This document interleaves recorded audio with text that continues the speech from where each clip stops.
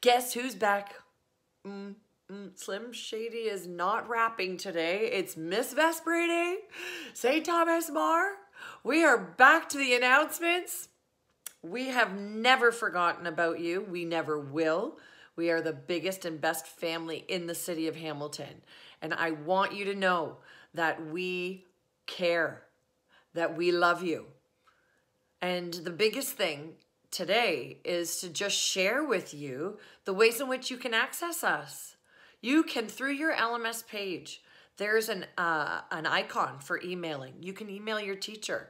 You know that you have an LMS page for each guidance counselor through LMS.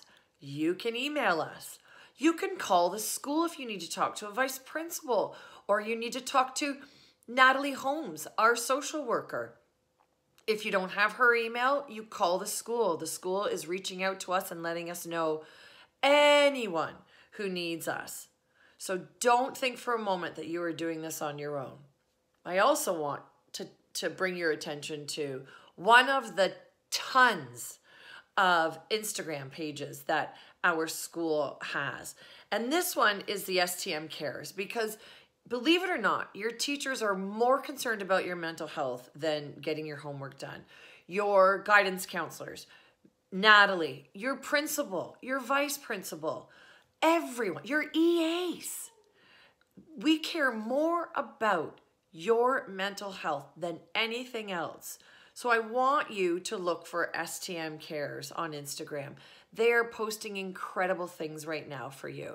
And this week, the focus is gratitude because when we find gratitude in our experiences, we do feel better about ourselves. We do feel better when we exercise. We do feel better when we try to help another. That's the only message this, not this week, because I'm coming back tomorrow and the following day. But we want you to know that you are loved, STM. You are loved, and we have never given up on you. Have a great week, too.